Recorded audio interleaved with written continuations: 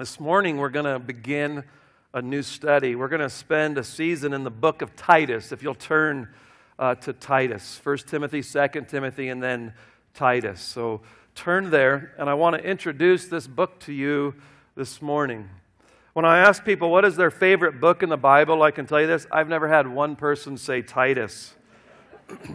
I'm hoping to change that. I hope by the time we're done that at least a dozen of you will say Titus is my favorite book in the Bible. And just my early studies, it's already becoming one of mine. This is what is called a pastoral epistle. There are three of them recorded in the New Testament. We've got 1 Timothy, 2 Timothy, and Titus. Those are the pastoral epistles. Most of Paul's letters were written to churches and regions and areas, except for Philemon. And so these letters, though, were written to, to individuals who were leaders in the church. And these are instructions then that were given to Timothy and to Titus to encourage them and to give spe- specific help in shepherding the church of God that they were being overseers for. So, very specific instructions given to these men in shepherding the flock of God. And so, thus, it's so pertinent information to the church of God. And I think it will prove to be very foundational for Southside Bible Church at this time in our journey together as a local assembly. Titus was a young man who was trained by Paul himself. He was a true leader of frontier missions and the strengthening of the churches. I want to give you a little bit of information about him as we begin studying this letter together. It's interesting to me that his name is never mentioned in the book of Acts, which limits us a little bit in placing when and how he comes on the scene in the early church. And so that part we don't have a lot of information on. It appears, though, that Titus was in a strategic leadership with Paul. Paul wanted to hand his work over as he sees his years coming to an end. He wants to hand over his ministry and all that he's been called by God to do. And Timothy and Titus are those men that he is handing the baton to. Titus is mentioned twice in Galatians 2. Paul's going up to Jerusalem to have the apostles kind of check his gospel to make sure that he's preaching the true gospel. He just makes sure I'm not off. I don't want to run in vain. And when he goes up, he takes Barnabas and Titus with him. And as he goes, they, they try to compel Titus to be circumcised, which tells us he was a Gentile. Once he's mentioned in 2 Timothy, and then nine times he's mentioned in 2 Corinthians, which is quite interesting. When you think of the worst church in the New Testament, what usually comes to mind for you is it's Corinth. Corinth was a difficult, defiled place, and they had many problems in the church there. And Paul chooses Titus to be the key guy working in the Corinthian church. And many think he delivered the second letter from Paul, or he was just sent right after that letter. And so he is there to try to straighten out Corinth. 2 Corinthians 7 6, Paul talks about being comforted by the coming of Titus. What comfort it brought to Paul when Titus was sent to come.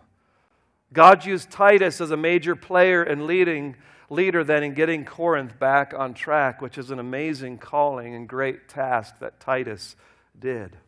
Well, now as we come to this epistle, he's on the island of Crete. And Crete is a church that was really struggling in, again, a nasty environment. There's false teachers and there's sin within.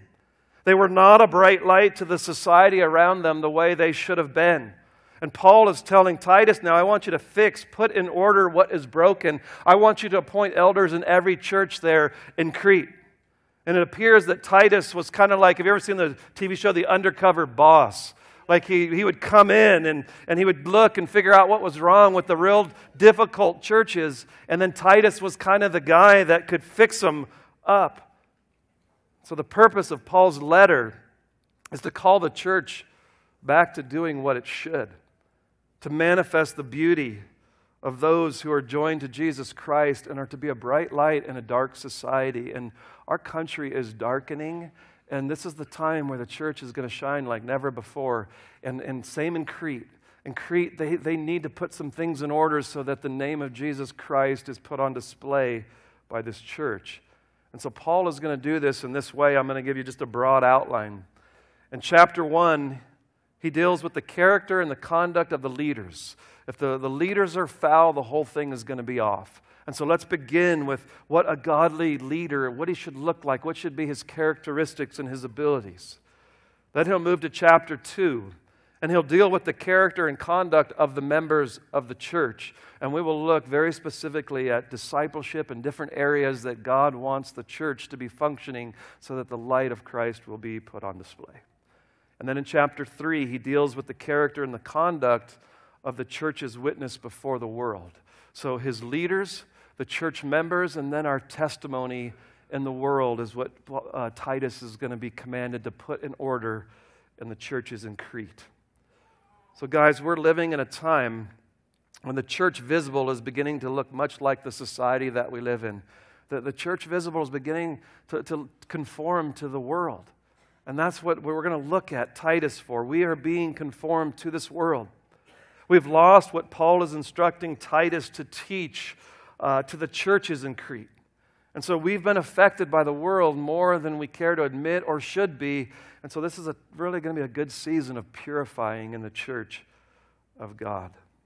There's some powerful things that God will have for us in this epistle that we need to put in order. And for the one purpose that Titus, uh, Paul said to Titus, is so that they would see our good deeds and glorify our Father in heaven. The name of God is at stake, and that's why we want to put these things in order to manifest His glory and beauty. And so, this is a call to come out and be distinct and be separate from this world that we live in.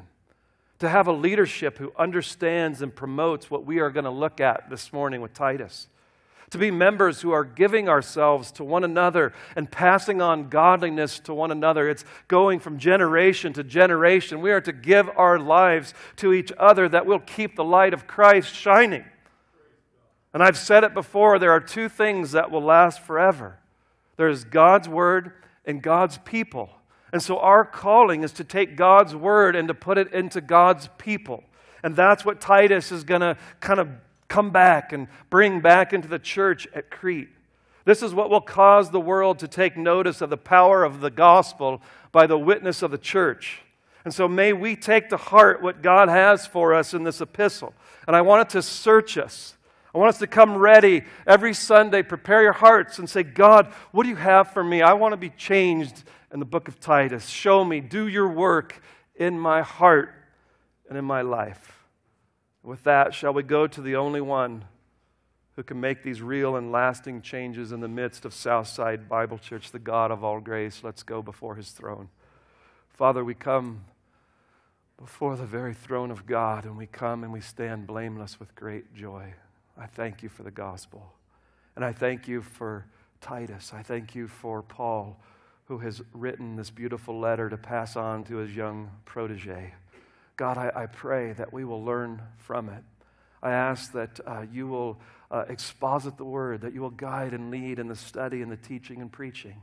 And I pray that your spirit would attend and that this church would see truth and it would be changed and we would put in order what needs to be put in order in a day and age that is just darkening. God, let us be that city set on a hill. I pray, let every heart be purged and grow in the book of Titus. God, we look to your grace to do this marvelous work in our midst. I pray in the name of Jesus Christ. Amen. Titus. Turn with me to Titus chapter 1, verses 1 through 4. Paul, a bondservant of God and an apostle of Jesus Christ, for the faith of those chosen of God and the knowledge of the truth which is according to godliness and the hope of eternal life, which God, who cannot lie, promised long ages ago, but at the proper time manifested, even his word and the proclamation with which I was entrusted, according to the commandment of God our Savior. To Titus, my true child in a common faith, grace and peace from God the Father and Christ Jesus our Savior. This morning, I want to take up those verses, or at least part one of two. It's a long sentence I just read, there's not a period in it. Paul and Titus were very close friends and they're co laborers. And so, my question is why such a formal, long introduction? Wouldn't you kind of expect him to just say, Hey, Titus, here's what I'd like you to do? Like verse 4, I, I kind of expected just that. Titus, my true child in the common faith, grace and peace from God the Father and Christ Jesus our Savior. Why such a long introduction? Why so formal? Well, the churches are new in this region, and many think this is Paul's second to last letter that he wrote. Some even think it came after Acts 28. So, Paul is now calling Titus to ordain leaders in every church.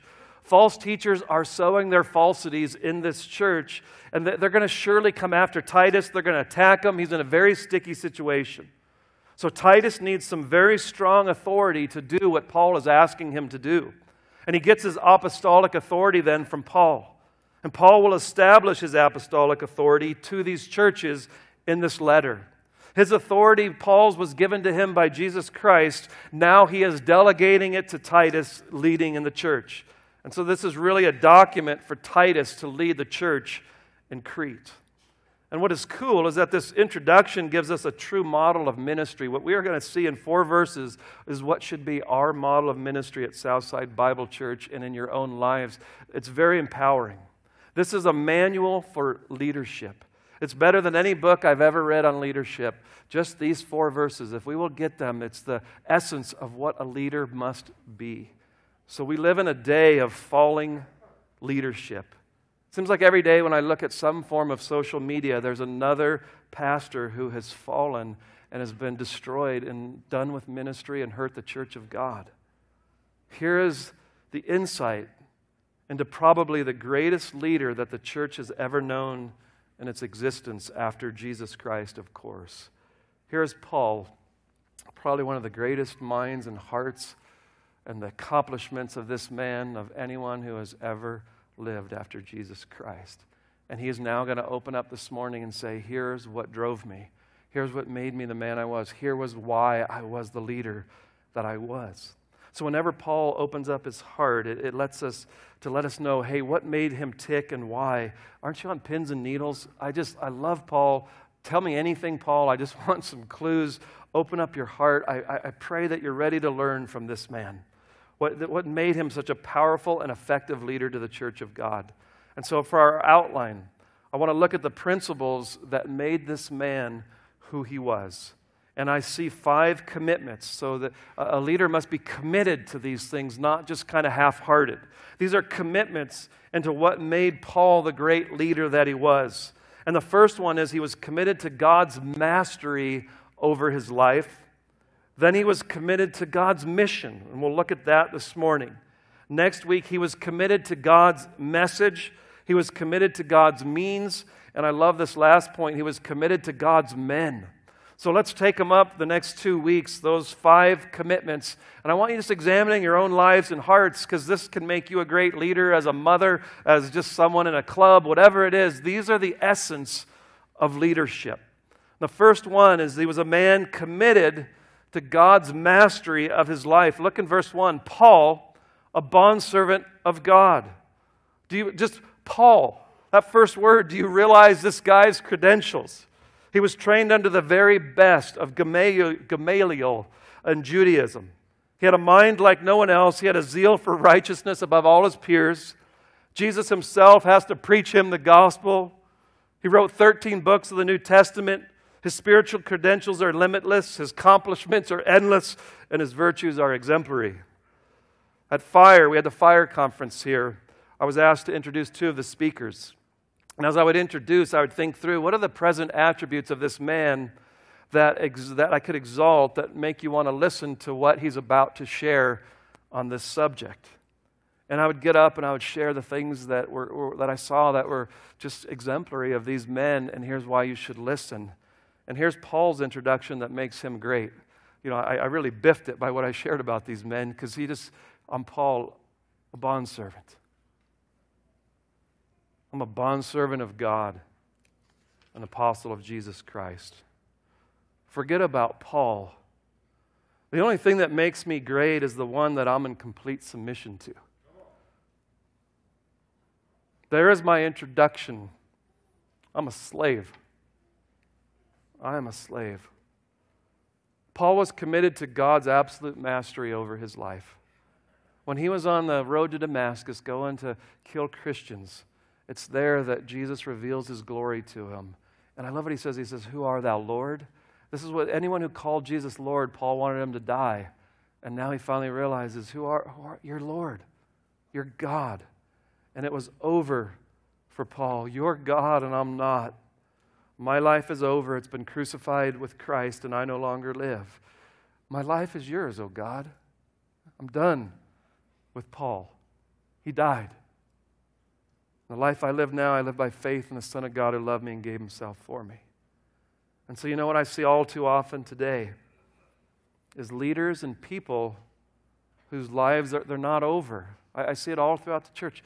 Your life is really not over, it's still your life.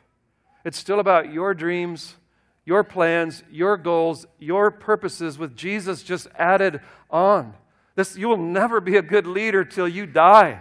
And so, Paul, this is it. I died. That is why you can't be a good leader. You, why? uh, why you will bear so little fruit for the kingdom of God is because it's still about you. It's still about how you look and your appearance and what people think. If it's still about you, you've missed it. This is not just a call for the great apostle. It's the call of everyone who wishes to follow after Jesus Christ that you'll take up your cross and die. There's, this is not an option in the Christian life. This is where it begins. I die. You're my God and I want your mastery over my life. That's the essence of salvation. You now have mastery. How, how do you want to use me? Here I am, God, send me. My goal for life now is, is you, Jesus. I, I'm alive now to you, so my life is Christ. Is that how you look at your life? Is that how you think this morning in your seat?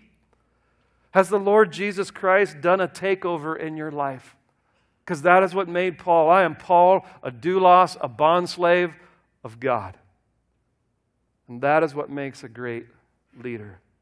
It is no longer about me, it's only about making much of King Jesus. There were two things that Paul was committed to then a doulos. A doulos is one who serves without any regard for his own interests. It is just not what's going to make me happy, what's going to fix my 401k, what's going to give me a. It just, they're done with that. I, I serve without any regard for my own interests. Submission to God was at the heart of Paul's effectiveness as he, he died that day. And the rest of his life, he just was after God. There's so many verses on this I wanted to just show you. I, I just picked two of my favorite. And my first one is in Philippians 2:17. Paul says this but, it, but even if I am being poured out as a drink offering, that, that wine offering that was poured on top of the sacrifice, uh, I'm being poured out as a drink offering upon the sacrifice and service of your faith. I, I just, my life is a, a sacrifice in serving to see your faith built up in the Lord Jesus Christ. I, I'm, I'm just an offering. That's all I am now. I, I died. My life is given for the building up of your faith. It's just, it's not about Paul anymore. It's done. I just, I've given myself. This is my commission from God to give my life for the building up of your faith.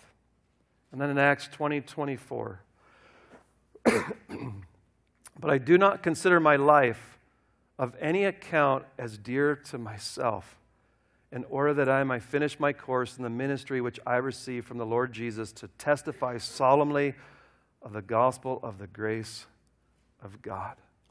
And so Paul says, I'm going to this city. All I know is bonds and afflictions wait me. Why would you go? I, I don't consider my life as any dear account to myself. It just it doesn't matter. That doesn't even come into the equation. God says, go, and I go. I don't sit and say, is it, is it safe? I, I just go. What, whatever he says, if he says right now, go to Africa, I just go. I just, I, the questions about me, they're gone. I've died. I've been commissioned to God. Jesus says if you wish to save your life in this world, you're going to lose it. You'll lose it. If you lose your life for me, you're going to gain it. And so we're called to be slaves of God, and that's what made this man such a great leader. I'm a slave. My will is gone, my will is his. And the other thing is, he's an apostolos of Jesus Christ, which is an apostle. The word means messenger, and it's, when we hear that word, many of us think, man, that is a lofty term, and it really isn't. Uh, it, it, referred to a slave. And so if you said to a slave, I want you to take this and go across town and take this message to this person, you are called an apostle. You are a messenger. So you'll take that message. The dignity of an apostle was the one who sent the messenger. And in Paul's case, it was Jesus Christ. I'm a messenger, but I am a messenger of the King of Kings, the Lord of Lords. And so an apostle is a slave with a task who has been sent by Jesus Christ. I'm a slave of God. I'm sent by Christ with a message. I have a message, and I've been sent by Jesus, the gospel. I've been commissioned by Christ. I'm his ambassador. And so please see what made this man such an amazing leader and powerful tool in the hand of God is my life is dead. It's hid with God in Christ Jesus. I'm his messenger, and that is the only way to describe me. I'm committed to God's mastery over my life. Have thine own way, Lord.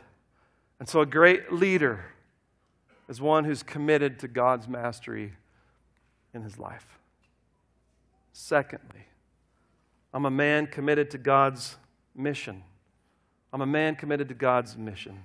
Uh, for the faith of those chosen of God. So there's kind of a three pronged mission that uh, Paul is giving Titus here. the first is for the faith of those chosen of God. And we're going to call that the evangelization of the world. For the faith of those chosen of God. Secondly, for the knowledge of the truth, which is according to godliness. We're going to call that edification. And then for the hope of eternal life. And I'm going to call that encouragement that in all of your sufferings, I'm going to keep encouraging you that you have the hope of eternal life. This is not your home. And so there's three things that you're devoted to. Paul says, I've been given a mission to evangelize to edify and build up the church of God and to encourage it with the hope of glory. These are the three things that every church then should be committed and devoted, and every one of us should be committed and devoted in our outworking of our lives. Please don't miss this. This commitment is uh, the same for Paul, it's the same for ministers today, and it's the same for every believer. We take up this great commission. We come together as one, and we are devoted to evangelism, edification, and encouragement that will end in the worship of God. Look with me at the first prong. We're going to try to get through those prongs today, and then we'll come back next week, Lord willing. So, in verse 2 or verse 1, for the faith of those who are chosen of God. Paul says, I labor to bring God's elect unto saving faith. You have some mammoth doctrines here in just one statement. You have the balance of divine sovereignty and human responsibility. I think it was R.C. Sproul said, if you can find someone who can tie that together and write a book, he'll be a millionaire because everyone will buy it. it. It's not the easiest subject to tie together, it's really big. And so I don't want to get lost in the details. I think I attempted it in the Lord's Prayer, Thy will be done, if you want to go back and listen to that. So I don't want to get too lost in the details and lose what Paul is doing here. So I'm going to try and make this clear and simple and I hope it'll be clearer than mud by the time I'm done. So we, we have the storyline of the Bible. And what you see in the storyline is God selecting people out who were not his own, and they're called chosen. Chosen of God, they're called the elect of God. God calls Abraham out. Abraham is an idolater, a worshiper of stars. And God just calls him out and says, You're, Through your seed, I am going to bless the nations. They are going to be blessed through the seed that will come through you, Abraham. Then in Deuteronomy 7 6, the nation of Israel comes from that. And he says, You are a holy people to the Lord your God.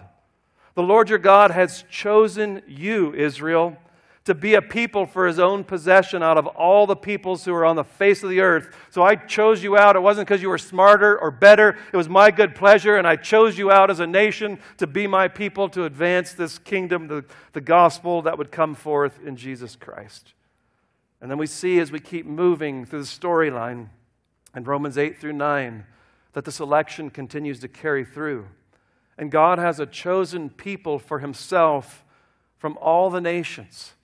And he says, I'm, a, I'm going to gather a bride together from every nation, and I'm going to choose them out, and I'm going to make them holy, and I'm going to present them to my son on the last day as a bride. I'm going to give my son that church, that spotless bride at the end. And we are told that all of this happened before the foundation of the world, that God made these eternal decrees in His choosing of who these people would be before He created anything. You were already in the heart of God. And so the question arises if God has chosen the elect before the foundation of the world, what is the point of us doing anything? Why go preach? Why preach this message, Paul, if God already has His elect? Yet God has decreed the means as well as the ends. And so God has decreed his people and he's decreed how he will bring them into his kingdom. And his decree is through the preaching of the gospel and that they would believe. So the means are very important, not just the ends. And so there is a way that God has decreed how he will gather his elect into the fold of God to be that bride on the last day. And he uses a means called preaching. He uses a means called preaching the truth, preaching the gospel of Jesus Christ, the message of his Son, and what he has accomplished and will. And so Paul understood this so well that God has his chosen ones from every tribe, tongue, and nation. But the way that they will enter in is by faith in Jesus Christ alone. How can they believe in whom they have not heard? And how can they hear without a preacher? And how can there be a preacher unless they are sent? Paul says, I'm a slave and I'm an apostle of Jesus Christ to preach the gospel to every soul possible, that the chosen of God will hear it and believe upon the name of the Lord Jesus Christ and be saved. I'm given to this. 2 Timothy 2 9 through 10. Paul says, I suffer hardship even to imprisonment as a criminal, but the word of God is not imprisoned. And for this reason, I endure all things, and that all things is big. Paul endured much. I endure it all. Why do you do this, Paul? For the sake of those who are chosen, that they also may obtain the salvation which is in Christ Jesus, and with it eternal glory. I keep suffering. I get beat to a pulp. I just keep preaching this for the elect, that they will believe upon the name of the Lord Jesus Christ and be brought into this salvation and this eternal glory. So, my life is for the sake of the elect to bring them into faith. Who are the elect? I don't know. I know after I know once they believe who they are, but I don't before they believe, I don't know. And that's why I quote it every time, and I'll do it again. Charles Spurgeon. Sean already did it twice in Sunday school. He paved the way. Uh, Spurgeon said this If I knew, if, if every elect person had a yellow E on his back, I'd run in London li- lifting up every shirt to see who had it. But because they don't, I lift up the crucified one and I call all men to come and to believe, and the elect will come and they will believe upon the name of the Lord Jesus Christ. I will go and I will lift up the name above every name, saying, Believe, believe upon the name of the Lord Jesus Christ. And so Paul got this so well. They're, they're chosen. Paul, was Paul seeking God? His testimony was pretty easy. He was going to kill Christians, and Jesus appears on the road to Damascus and reveals himself to him. Paul never patted himself on the back and just said, I was so smart, I figured it out on my own. Just, there was no problem for Paul with the doctrine of election. God smashed me on that road and revealed his glory to me. He gets all the glory. I will boast in the name of Jesus Christ alone. He knew that God's plan was one that he was a slave to, and he was to bring the elect to faith by the means of proclaiming the gospel of Jesus Christ.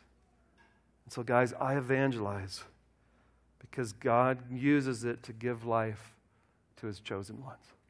If there, uh, if there was no election, what would be the hope? So get this if, if there was an election, I would spend all of my days, according to Ephesians 2 1 through 3, preaching to corpses. He says they're spiritually dead when they come into the world. Have you ever tried to share the gospel with a corpse? Like you can be so persuasive and wise and good in your arguments, and they don't ever respond. And you can do it for months and years.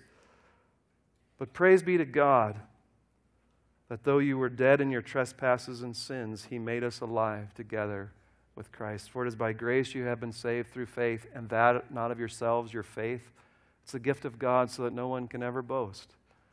And so here, here it is, is if there was an election, there's no hope of preaching to corpses. But because there's a God who takes the gospel and gives life and they believe upon the name of the Lord Jesus Christ, I am so confident to walk into any setting, prisons, streets, it just there's no place I can't go that I know that if they're not if they're elect, they're going to believe this gospel.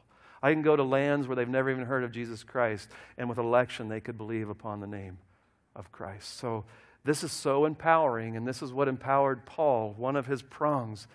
I minister, I labor to bring people, God's chosen ones, to faith in Jesus Christ. So get out there. God has his chosen ones, and most likely they are around you on a daily basis. You keep sowing. God made a divine choice of them in eternity past, and he activates it in time by personal faith and trust in the Lord Jesus Christ. And it comes about by our lives and our preaching the gospel to them. I think one of my greatest joys in ministry is anytime you see a soul come to faith and believe and cross over from death to life. There's no greater joy that you can uh, feel. That is what made Paul such an amazing leader. So let's give our lives to activate faith. Amen? Give our lives to activate faith. The most common weakness in Reformed churches is personal evangelism. And I just, I just pray, do you have any?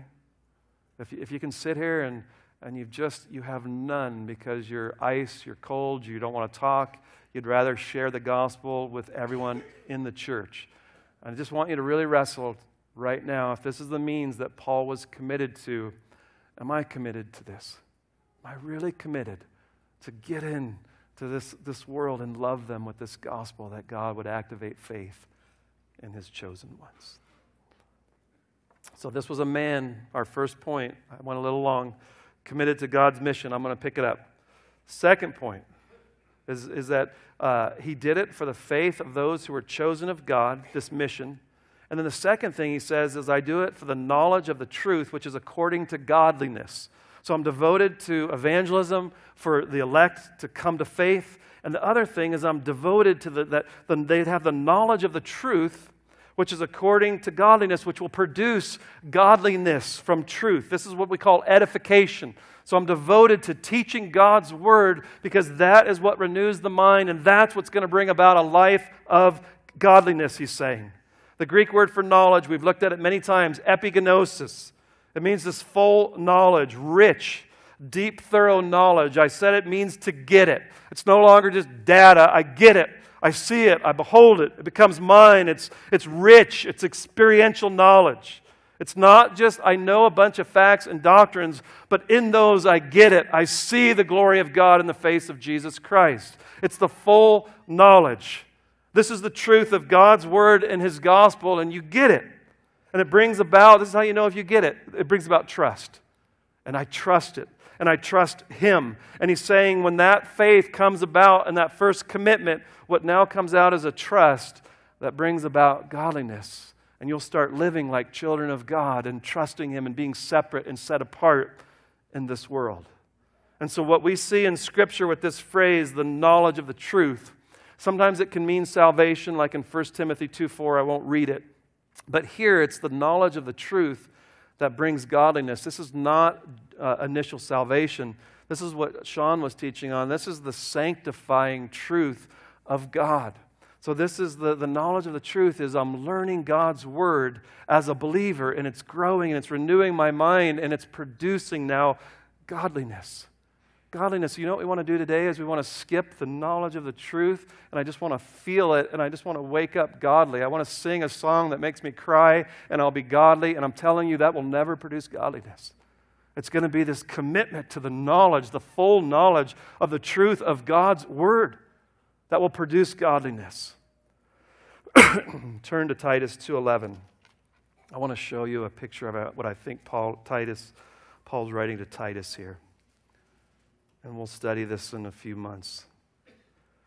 For the grace of God in verse 11 has appeared, bringing salvation to all men, instructing us. So now this is what Paul's talking about right here now. This is salvation comes. Here's what it does it instructs us to deny ungodliness and worldly desires and to live sensibly and righteously and godly in the present age.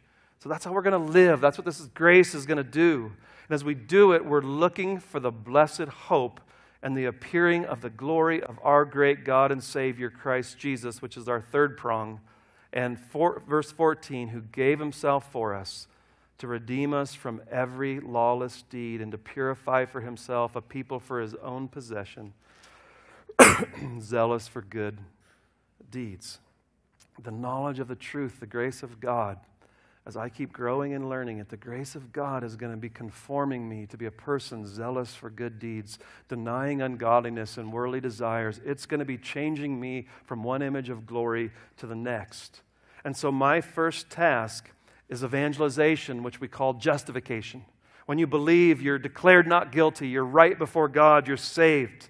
And then the teaching of the Word of God now through His Holy Spirit is it brings about sanctification where I am being sanctified, I'm being cleansed, I'm being purified, I'm growing into the image of Jesus Christ. That's the process of every believer. And then next week it ends in glorification, which is the hope of glory when I'm finally going to be made perfect and have no more sin. So there's the whole commitment justification, sanctification, reminding each other that glorification's coming, even though I still battle and fight with sin here on a daily basis. And so I just want you to get this. The, the millennial age, the millennial age is so much emotionalism. And you just want to feel God and you want emotional responses. This generation is losing truth. And I want young men, youth kids, and college and over, I just who are committed to truth. Grab it, hold it, preach it, learn it, proclaim it. We'll look at this more next week. But this is it truth. Paul was committed to teaching the truth of God's word. He was devoted to it, he was a slave to it. In Acts 20, he told the church, I did not shrink back from teaching you the whole full counsel of God. I did it day and night. I was entreating you both day and night. I kept teaching you truth, God's word, begging you, imploring you to live it. I would never grow weary of the means that God has given, His word. And I just keep teaching it in every setting I go into. It's it. The truth is the only thing that will transform you into the image of Christ. He says to Timothy in the book earlier, therefore, preach the word of God in season and out of season. It's the only thing that's going to change us into godliness. So be devoted, Timothy, preaching this word in every setting. This is what grows you. This is what renews your mind and transforms you into godliness. This is the way that we grow up spiritually. Jesus said, Teach them all things that I taught you. Go teach them. I just want to wake up one day and be conformed to godliness while I'm on my cell phone while I'm on my Xbox. I just want to wake up and be holy. That'll never happen. This is going to, holiness is a journey with very deliberate steps. And Paul is saying it is learning this word, getting in, growing, renewing your mind, fighting for it, memorizing it, having it preached to you by friends, family. it, it is a commitment. Paul says, I was devoted to this word. We are committed to the Word of God at this church. We teach it to our kids, our youth, our adult Sunday schools, community groups, church service. It is, I, I have nothing else to give you but the Word of God. And that is why it's not emotionalism. It's not friendships that are going to do it. It's this Word of God dwelling in you richly. Are you committed to this at all cost? Are you digging in and learning it? With the end goal give me epignosis. I want to know God. I am not happy just learning. I want to know God. Abide in me and I in you. Are you putting God's word into God's people? And Titus is going to say, by way of discipleship, one on one relationships, on your own, corporate settings, neighborhoods. That is what Paul was committed to. You couldn't move him away from it. He would die to not preach this word. And so there's going to be a little more next week that will bring it all together. I'm just going to throw this point out now and I'll flesh it out more next week. The third point of the prong that he was committed to was in the hope of eternal life. And that is glorification and that is the encouragement. And so what Paul kept doing in his teaching of the word is that this word promises eternal life for those who believe. For those who hold to Christ to the very end, the reward is, is Him. The reward is glory forever. And so we, we, we can't lose the hope. And so here we have no lasting city, and we keep trying to put our tent stakes down. And we got to keep teaching and preaching God's word to each other that this isn't it. So remember Paul? I said he didn't have any hopes, plans, or dreams of his own. I mean, he, he's thinking of this city whose builder and maker is God. And so we've got to become a, a people where in this word we're teaching and we're committed that it's not just how to make this life easier, but it's how to endure hardships and difficulties in a generation that's going to come against us now. And how do we endure it but without this hope of, of glory? I suffer now and I, I receive everything. Everything I endure in this life will not match the reward. The reward is so much better than the cost. And so we got to keep fighting and reminding one another of what our hope really is. It's not just that I'm going to wake up happy tomorrow. My, my hope is that I'm going to wake up in Jesus' arms one day. And it's, it's certain. I love the certainty of the sovereignty of God is if you have faith, He will bring you to that day. So our, our human responsibility is I persevere and I fight, but God will lose none of His own. He'll bring me there. So I just, I pray that you have the hope of eternal life. The, the Christianity has been being sold for what you get here and now. And I just, I, I, Paul could not get away that I'm so committed to the hope of eternal life. And I want us to be a church that holds to that and looks to that. My, my hope isn't my little kid getting into college. My, my hope is my little kid getting into the kingdom of God. And I just, I want to get caught up in the eternal things and quit listening to all the temporal things that are being thrown at us.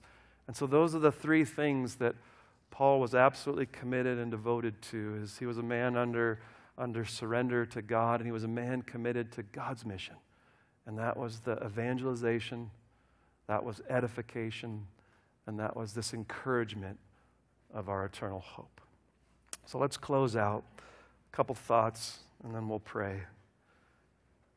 Is your life still about your plans, your goals, and your dreams and accomplishments? I really want you to not leave without at least dealing with that. Is it still about all your stuff, or is my, my hope Jesus Christ and his kingdom and his plan? Is it, is it about slavery to God? Coming under his plans, his goals, his dreams, what he wants to accomplish for you? Have you come under that? And so the question is just honestly are you a slave? Are you, are you really a slave to God? Dads, are you, are you a slave? Moms, this is where it begins in the home is I'm a slave to God and, and, and I give myself to the training of these little ones. And husbands who I'm a slave to, to love my wife like Christ loved the church. And I'm a slave to bring all of my gifts as a wife unto my husband for the good of our family. And so just I just really ask you, are you a slave to God? Do you see the means that God uses to bring his chosen ones into the kingdom? He, uses truth so that they can believe. And how are they going to believe unless we sow the truth? And so, are, are you devoted to bringing truth to bear in this godless world that can't think right about God? Are you committed to that? They need truth, not just songs that make them feel happy. Do you have a prayer list of those you are seeking to share the truth with so God can create faith in them? Or is your theology, I don't want to get near unbelievers, they might stain me, so I just stay away from them? I pray that I've broken that down over the years. If I haven't, come see me, please. Share the gospel. Who are you praying for? Who are you laboring with? Are you getting the truth poured into you? Are you a real student of God's word or do you just play at it? Who are you pouring all the truth that you are learning into as He will drive in this book? Are you pouring it into someone? This takes investment. Is the truth you are learning conforming you to godliness or are you just smarter? Getting smarter won't solve it is the truth? Is it epignosis? And the way you'll know is, is it making me godly? Is it changing me, my behaviors and what I do and how I think and how I love? Is it conforming you to godliness? Are you given to the devices of our time? Persuasion, manipulation, emotionalism? Or do you depend on the bare word of God alone, trusting it to conform people to godliness? I get, I get new, new thoughts almost every week from someone of how we could grow better. And I'm just telling you, I'm not going to move away from the Word of God. If you have a suggestion that's not the Word of God, I don't want to hear it. I, I will not be moved away because God says this is the only thing that will do it. Will you let the Word of God put in order anything that is out of order in your life in the book of Titus? And so I'm asking if you'll let Titus have its way in your heart as we study and work through this. Do you see what made Paul the great leader he was? I mean, it's just unbelievable. Just, I want to be enslaved to God and I'll do whatever He wants. And the way I'm going to do it is by sharing the gospel, using truth to build people up, and using truth to remind us of our eternal hope that's going to come at the end of this. I pray that we are all committed and devoted to that as moms, dads, everything that we do, that that is it. That's our goal. To God be the glory. Father, I thank you for Paul writing these words to Titus. I thank you for the depth of them. And even as we'll finish next week, seeing what made this man such an incredible leader, I pray that you would do that in all of our lives, Lord. We want to be leaders for the kingdom of God.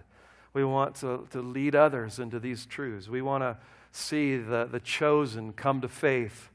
We want to see those in the body of Christ built up into the image of Christ. And we want to do this as we never lose sight of the hope that's coming. And God, we have a hope right now that Jesus could come back today. God, I pray it would be so. I pray, Jesus, come back even this day. Consummate, finish, redeem this earth completely. We look for that. Remove the curse of, uh, of our bodies decaying in a world that's falling apart. Lord, we long for the new heavens and the new earth where you will be seated and we will dwell and look at you and behold your face and we will worship you forever. And so, God, I thank you for this blessed hope of glory. I thank you minister to us these days through the book of Titus. And it's in Christ's name that we do pray. Amen.